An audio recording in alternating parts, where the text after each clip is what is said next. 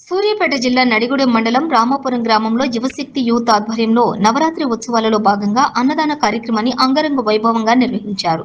ఈ కార్యక్రమంలో నిర్వాహకులు దాతలు కమిటీ సభ్యులు పాల్గొన్నారు. రెండు వేల మందికి అన్నదాన కార్యక్రమం భక్తుల సహకారంతో ఏర్పాటు చేసినట్లు నిర్వాహకులు తెలిపారు. సహకరించిన దాతలను కమిటీ సభ్యులు అభినందించారు.